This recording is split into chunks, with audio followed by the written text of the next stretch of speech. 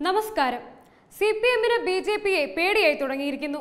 ഇപ്പോഴത്തെ സംസ്ഥാന നിയമസഭാ തിരഞ്ഞെടുപ്പിൽ മുപ്പത്തിയഞ്ച് സീറ്റുകളിൽ ജയപരാജയങ്ങൾ ബി ജെ പി നിർണയിക്കുമെന്ന പുതിയ വിലയിരുത്തൽ പുറത്തു വന്നിരിക്കുകയാണ്. തദ്ദേശ തിരഞ്ഞെടുപ്പിൽ മുപ്പത്തിയഞ്ച് സീറ്റുകളിൽ ബി ജെ പി ഏറെ നേട്ടമുണ്ടാക്കിയിരുന്നു.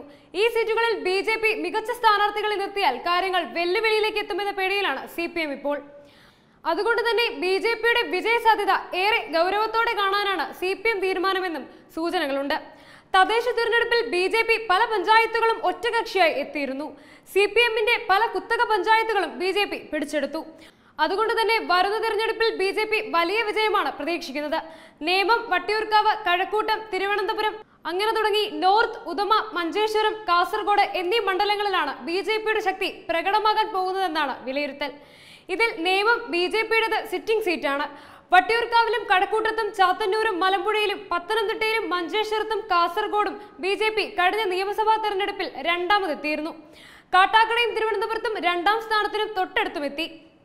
ഇതിനൊപ്പം തിരുവനന്തപുരത്തുള്ള മേഖലകളിലേക്ക് ബി ജെ പി വളർന്നു പന്തലിച്ചിരിക്കുകയാണ്. തിരുവനന്തപുരത്തെ പതിനാലിൽ പതിനൊന്ന് സീറ്റിലും ബി ജെ പി നിർണായക ശക്തിയായി ഇതിനോടകം തന്നെ മാറിയിട്ടുണ്ട്. ഇതിൽ വർക്കലയിലും മറ്റും തദ്ദേശ തിരഞ്ഞെടുപ്പിൽ നഗരസഭാ ഭരണത്തിന് തൊട്ടടുത്തുമെത്തി. ഈ സാഹചര്യത്തിൽ തിരുവനന്തപുരത്തെ ബി ജെ പിയുടെ വളർച്ച സി പി എമ്മിന്റെ ഉറക്കം കെടുത്തുന്നുണ്ട് എന്നത് സത്യം തന്നെയാണ്. എന്നാൽ കൊല്ലത്ത് ബി ജെ പി വളരുകയാണെന്ന് സമ്മതിച്ചു തരാൻ സി പി എമ്മിന് വയ്യ എന്നതാണ് സത്യം. കൊല്ലത്തെ മുന്നേറ്റം അപ്രതീക്ഷിതമാണെന്നാണ് സി പി എമ്മിന്റെ നിലപാട്. അതേസമയം തെരഞ്ഞെടുപ്പിൽ ചാത്തന്നൂരിലാണ് ബി ജെ പി അതിശക്തമായ മത്സരം കാഴ്ചവെച്ചത്. കരുനാഗപ്പള്ളി കുണ്ടറ ചാത്തന്നൂർ ഇരവിപുരം കുന്നത്തൂർ കൊട്ടാരക്കര എന്നിവിടങ്ങളിൽ ഇപ്പോൾ നിർണായക സ്ഥാനമാണുള്ളത്. തൃശൂരിലും പാലക്കാടും കോഴിക്കോടും കാസർഗോഡും ചില മണ്ഡലങ്ങളിൽ കരുത്തു കൂട്ടുകയും ചെയ്തു. ഇതെല്ലാം സി പി എമ്മിനെ ചൊടിപ്പിക്കുന്നുണ്ട്. സി പി എം വോട്ട് ബാങ്കിലേക്ക് ബി ജെ പി എത്തുമോ എന്ന ആശങ്കയും അവർക്കുണ്ട്. സംസ്ഥാനത്തെ മുപ്പത്തിയഞ്ച് മണ്ഡലങ്ങളിൽ ഇത്രയും നേടിയത് ബി ജെ പിയുടെ നല്ല ഭരണ സംസ്കാരം ഒന്നുകൊണ്ട് മാത്രമാണ്.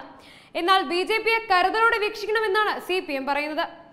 ഇരുപത് ശതമാനം വോട്ട് മുന്നോട്ട് കുതിക്കാനുള്ള തന്ത്രപ്പാടിലാണ് സി പി എം തദ്ദേശ തെരഞ്ഞെടുപ്പിനെ കുറിച്ചുള്ള താഴെത്തട്ടിലെ അവലോകന റിപ്പോർട്ടിംഗിൽ സി പി എം സംസ്ഥാന നേതൃത്വം ഊന്നൽ കൊടുക്കുന്ന കാര്യങ്ങളിൽ ഒന്ന് ചില ജില്ലകൾ കേന്ദ്രീകരിച്ചുള്ള ബി ജെ പിയുടെ വളർച്ചയാണ്.